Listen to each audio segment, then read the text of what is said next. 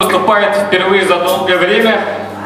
Вот, и мы представим рядовую концертную программу, разбавленную буквально парой-тройкой новых песен.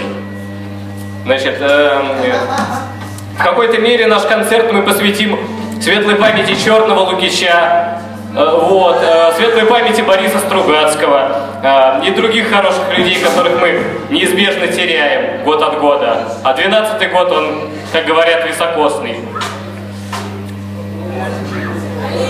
Первая песня... Ну, с марша, наверное, да? Ну, давай.